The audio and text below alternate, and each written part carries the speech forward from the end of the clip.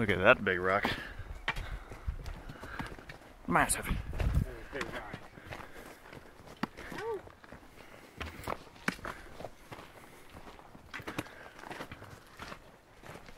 guess one would call that a boulder. A boulder of sorts.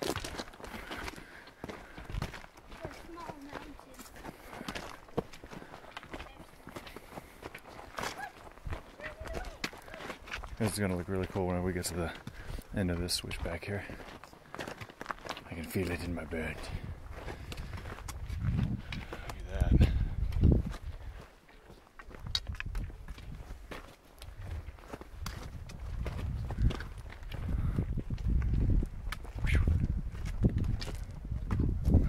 That's nice. Wow, look, look, you can see all the cars. Look at that. There's the mountain.